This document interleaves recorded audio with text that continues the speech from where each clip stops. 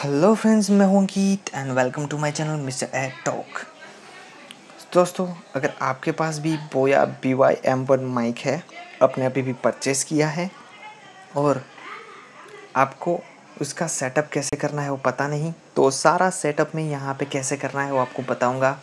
A to Z से आपके सारी भी डिटेल्स में यहाँ पे बताऊँगा कि आपको कैसे कैसे इसका सेटिंग्स करना है। कैसे सेटिंग्स नहीं करना है तो सारी डिटेल्स में यहाँ पे आपको दिखाऊँगा मैन्युअली तो उससे पहले दोस्तों, सबसे पहले आप मेरे चैनल को सब्सक्राइब कर लो। वीडियो को लाइक ज़रूर कर देना, ताकि मेरा टेक्नोलॉजी के वीडियोस आपको सबसे पहले मिले। तो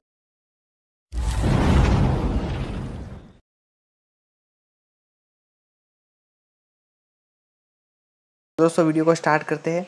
तो देखो सबसे पहले आपको जो माइक्रोफोन वाला इनपुट है आपके पीसी में या फिर कंप्यूटर में, वहाँ पे आपको अपने बोया माइक का पिन इंसर्ट कर देना है। इंसर्ट करने के बाद बोया माइक में आपको दो ऑप्शन मिलेंगे यहाँ पे। एक स्विच मिलेगा कैमरा मोड और स्मार्टफ़ोन मोड तो आपको पीसी या फिर कंप्यूटर में लैपटॉप में यूज़ करना है। तो आपको यहाँ पे कैमरा मोड पे ऑन करना होगा तो ही यहाँ पे सेटिंग होगा, वरना नहीं होगा।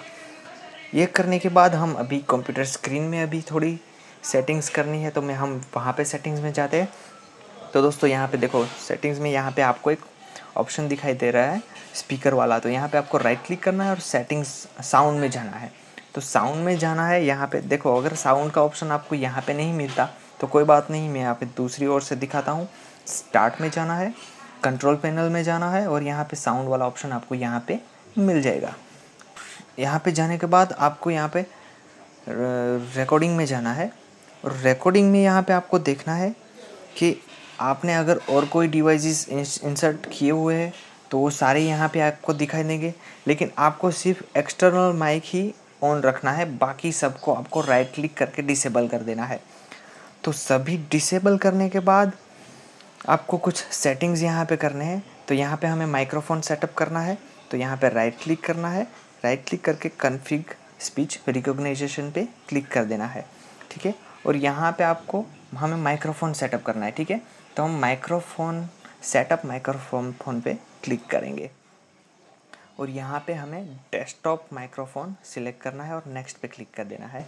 तो फिर तो ये वाली लाइन आपको पढ़ लेनी है, ठीक है? और जैसे ही पढ़ लोगे तो यहाँ पे नेक्स्ट का बटन आ जाएगा और उसके बाद फिर नेक्स्ट करोगे तो आपका सक्सेस हो जाएगा। तो देखो, मेरा सक्सेस हो चुका है तो मैं यहाँ पे नेक्स्ट पे क्लिक कर दूँगा और फिनिश पे क्लिक कर दूँगा। तो जैसे फिनिश पे क्लिक करने के बाद, अभी कुछ और सेटिंग्स हमें यहाँ पे करने हैं तो ये वाला बंद कर देना है आपको, और फिर से यहाँ पे साउंड वाले ऑप्शन में आपको आ जाना है। तो यहाँ पे आपको एक्सटर्नल माइक पे फिर से आपको राइट क्लिक करके प्रॉपर्टी में जाना है। ठीक है? प्रॉपर्टी में जाने के बाद आपको यहाँ पे कुछ और सेटिंग्स करने हैं, यहाँ पे आपको लिसनिंग में जाना है।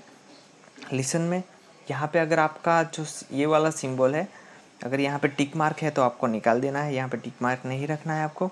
दूसरा है यहाँ पे लेवल्स तो लेवल में आपको यहाँ पे 90 पे कर देना है तो 90 बहुत ही अच्छा लेवल है। आपका जो वॉइस है वो परफेक्ट रहेगा यहाँ पे, और उसके बाद एडवांस्ड में जाना है। एडवांस में यहाँ पे दोस्तों मेरा मानना ये है कि आप डीवीडी क्वालिटी ही सिलेक्ट करें, क्योंकि यहाँ पे डी क्वालिटी बहुत ही अच्छी क्वालिटी देता है, ठीक है? तो ये डीवीडी क्वालिटी मैंने ऑलरेडी सिलेक्ट कर ली हुई है, ठीक है? और यहाँ पे ओके पे क्लिक कर देना है। तो दोस्तों, जैसे आपका एक सब सेटिंग हो जाएगा आपको यहाँ पे, देखो ग्रीन वाला जो लाइन है, वो जब भी आप बोलोगे तो ये इंक्रीज़ हो रहा है, ठीक है? तो उसका मतलब है आपका माइक माइक सेटअप हो चुका है, और ये सब करने के बाद आपको लास्ट में यहाँ पे ओके कर देना है। तो दोस्तों, आपके बोया का माइक अभी रेडी है यूज़ करने के लिए तो अभी आप यहाँ पे कुछ भी रिकॉर्ड कर सकते हो, अपना वॉइस यहाँ पे आसानी से आप रिकॉर्ड कर सकते हो। दोस्तों मेरा वीडियो अच्छा लगा हो आपको तो लाइक करें शेयर करें सब्सक्राइब ज़रूर करें. Thanks for watching